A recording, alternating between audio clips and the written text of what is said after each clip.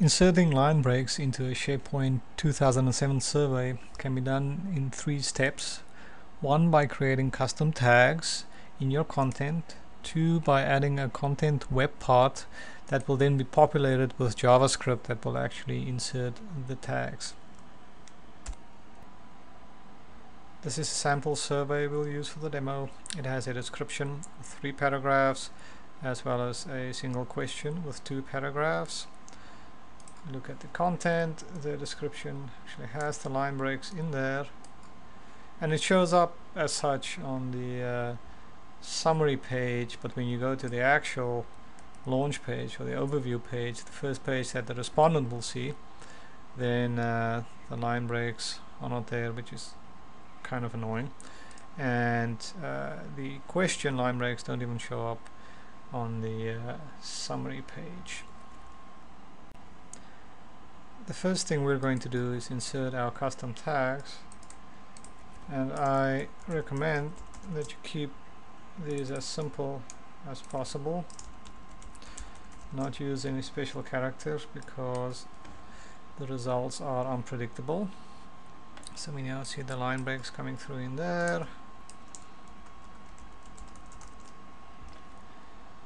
And we also insert it into the question and see it come through there. So obviously now when we go to the survey we will see those in there which is not what we want. Next step is to now add a web part to each of the pages. And uh, there are two the overview page and the actual survey questionnaire. To add a web part you're going to edit the page add a web part.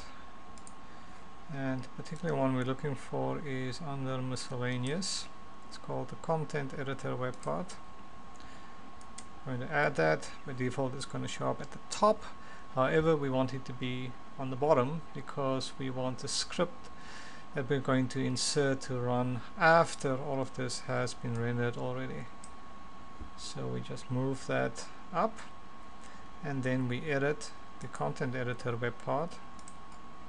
I'm modifying it selecting the source editor and putting in some JavaScript. This JavaScript is fairly straightforward.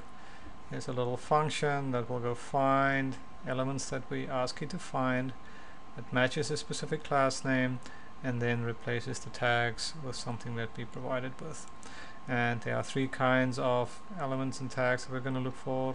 Some table cells as well as one div with certain classes. Some cases we want to insert HTML line breaks in some cases we just want to replace the custom tag. And uh, I'm happy to explain this in more detail if somebody has more questions but it should be fairly simple to figure out.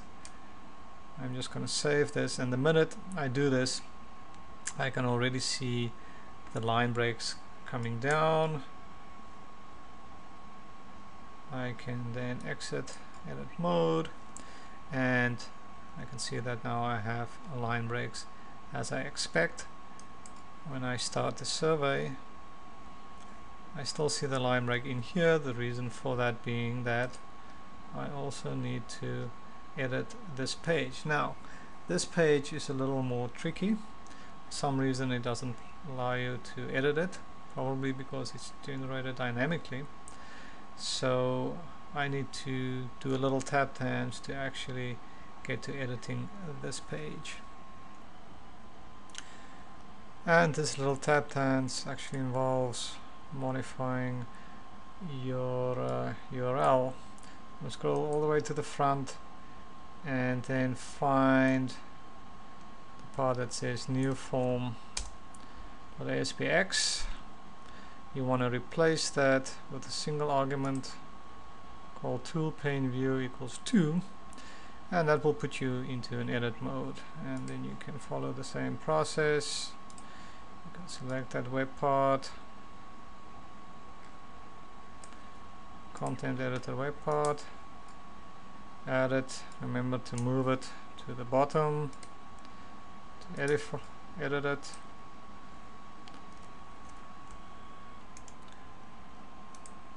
put it in the same script.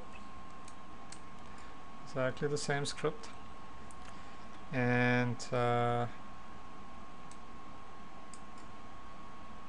we're done. So now if I respond to the survey. I get the line break in there and I'm good. You may have to play around with uh, the script a little bit depending on uh, the version of SharePoint you're using or maybe browser issues but uh, in general that sh should help you uh, resolve some of the problems with inserting line breaks.